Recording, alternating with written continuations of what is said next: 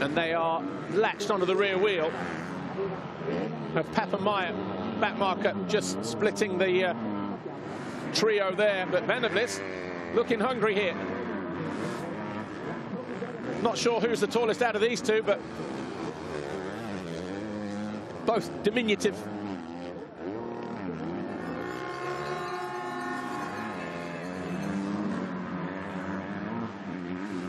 Both very experienced as well in WMX.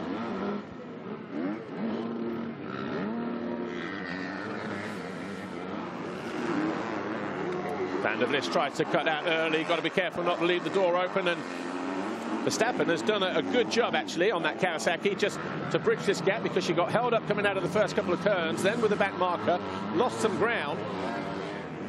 But she's got herself right back onto the rear wheel of Van der Vlist. Just here, look, on the Kawasaki.